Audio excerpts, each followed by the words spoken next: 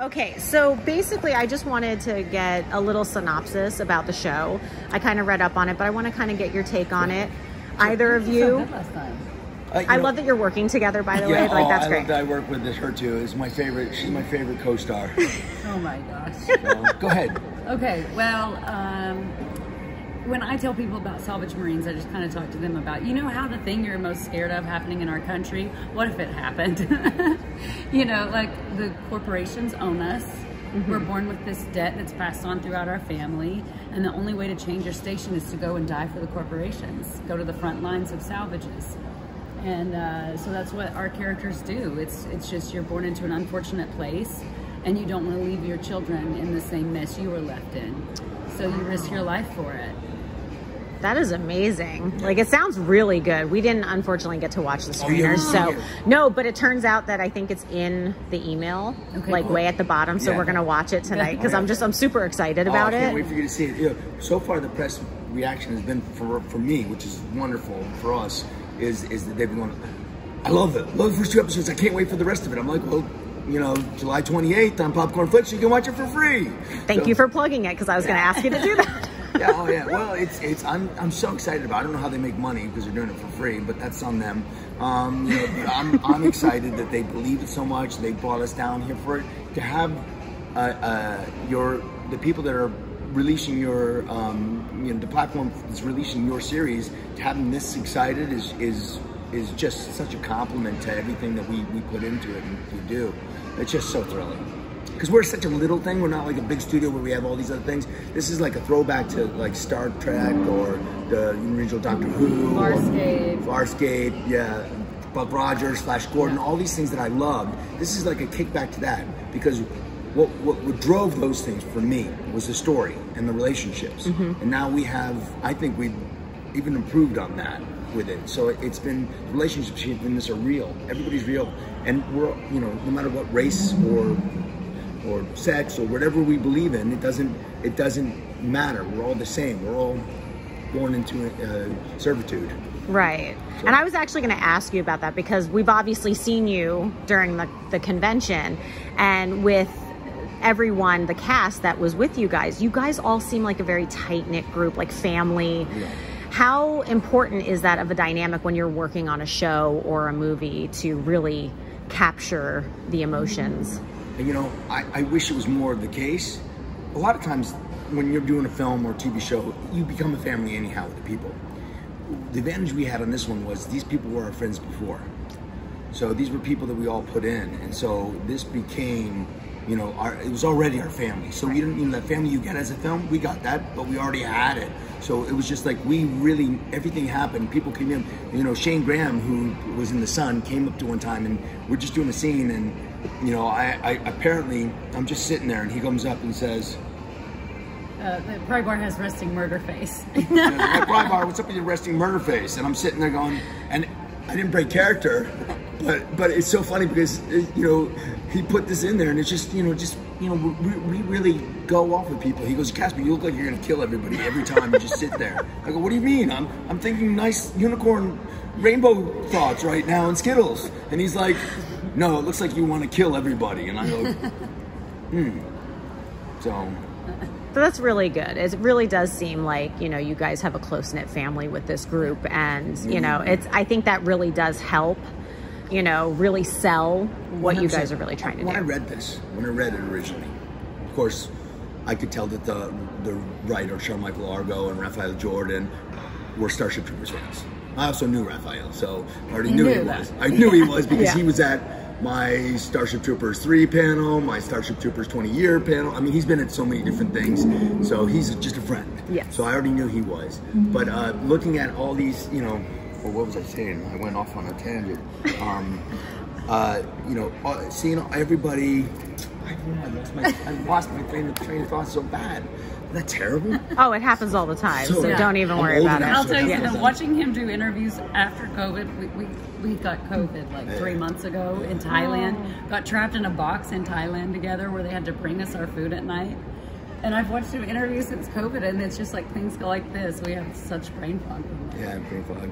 Well, I mean, it ha- it's happening to everybody because I was actually nervous. I'm like, I don't know how to do this anymore. And you guys have made it You're so easy right great. now. I'm telling you right now, you guys make it so easy. It's Oh. like I feel like I've known you for like forever. And I know what, and now I remember. Yay! See? Brain fog's Train gone. comes back in. So when I was reading this, of course, Starship Troopers remind me of that, and that was great. So I'm reading it, and all of a sudden I'm, I'm reading the character Ben Takeda, and I go, Peter Shinkoda. And I call up the director, and I'm like, what do you think of Peter Shinkoda? He goes, oh my God, I love him. Do you think we can get him? I go, I'll call him. So I called up Peter, and I told him about it. He's like, okay, guys, okay, Van Dien, I'll read it, I'll read it. He comes back, he goes, I'm in.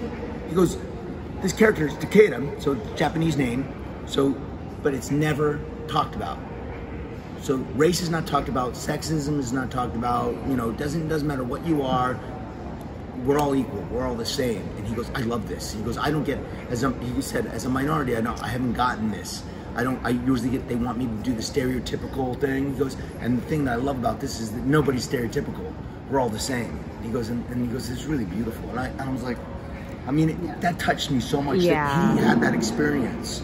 And he goes, he goes, I, I mm-hmm. haven't, he, I haven't been asked to do these things. I always get asked to, you know, something Japanese. Right. And he goes, that's, I don't get anything else. And, and, and I was like, well, I'm, I'm glad that's not the case in this one. He goes, no, it's, it's He just, said, and Peter also said the thing he loves about it. We love Peter. You can't tell. Oh no, he's amazing because I he actually is really good friends with my friend Chad, oh, and so I've I've Chad talked to Michael him. Michael Collins? No, no, no, he, Osuna. He does podcasts. We actually met Peter at one of the conventions, like around Daredevil time, Yeah. Yeah. and so we got to know him. But those two are like peas in a pod. They they text each other all the time. I'm like, Oh, what the heck? the- Peter's the sweetest. Such a nice person. You Yeah. all are though, and that's Oh, the and- great. That's what makes this, you know, great is because you love the fandom. You Yes. love, you know, all of the conventions, everything, and you're really great with your fans. Ah, I love, I you love know, them. They're, they're like friends because Yeah. they they geek out the same way I geek out.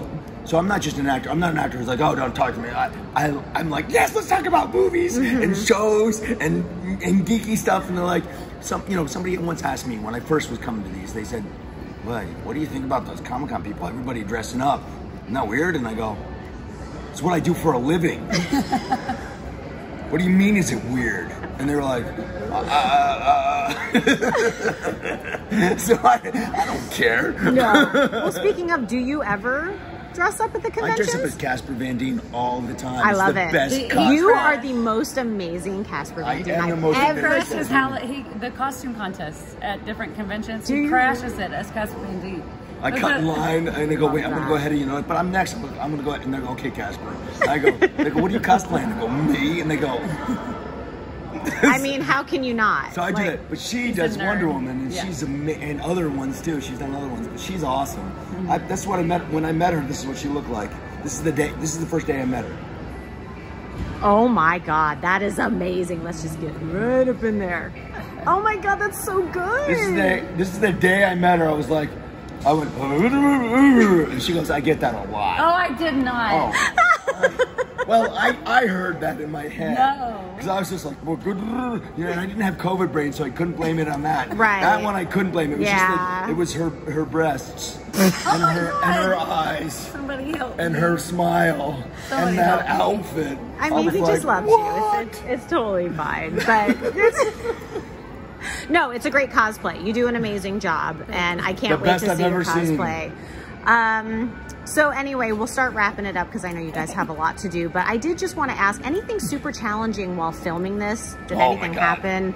Okay, I'm gonna talk about her challenging thing. So we were going through the sand dunes and we're running, we're doing all this stuff, and we didn't have stunt doubles, so we're all doing our own. We have one little friend, our girlfriend, Ashley Nunez, is a, a track athlete. So Okay. she's she's fast. Mm-hmm. So Peter and I are older, but we're still fit. Mm-hmm. The young guys are really fit and young.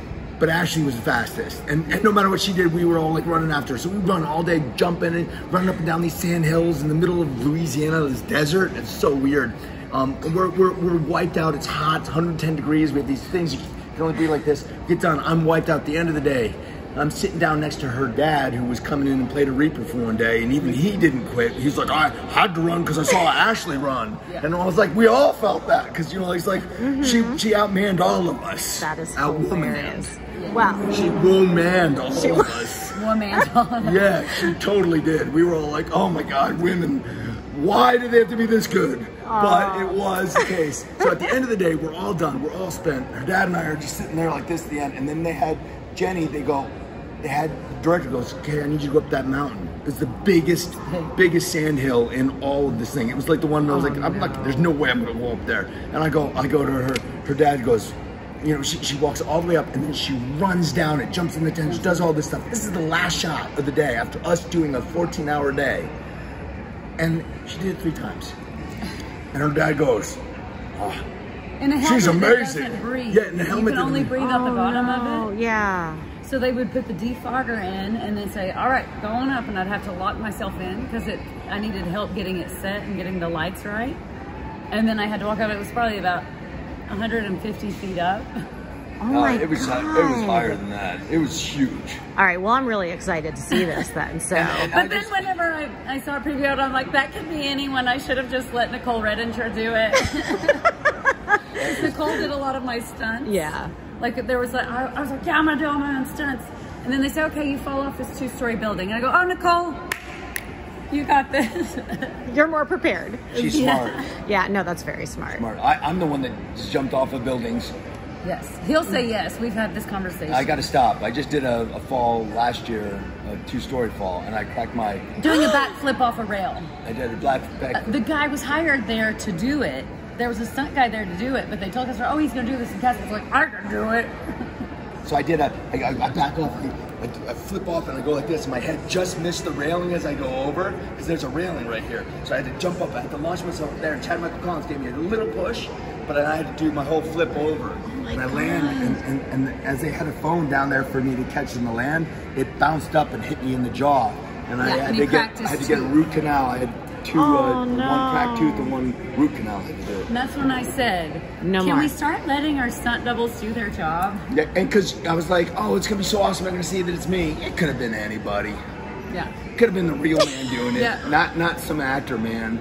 Could have been one of the stunt men. You know, he's a real man. He could have done it. He doesn't wear makeup. He doesn't wear makeup. That Casper wears makeup and dresses up. Let the stunt guy do it. That's what we should have done. But we never do. No. You know, we never do. Ego. Yeah. Well, we all Well, got it also, bit. slow learner. Well, I just want to thank you guys so much for taking the time to do this. We had such a great time. You guys Thank are you so amazing. Thank you so Can't wait to see it. One more time, where to watch. Popcorn Flicks on the 28th. It is free. It's streaming for free. What You else get is Apple free? TV, Roku, uh, any smart TV, or just Google it. Sweet. Thank you so much. Thank you.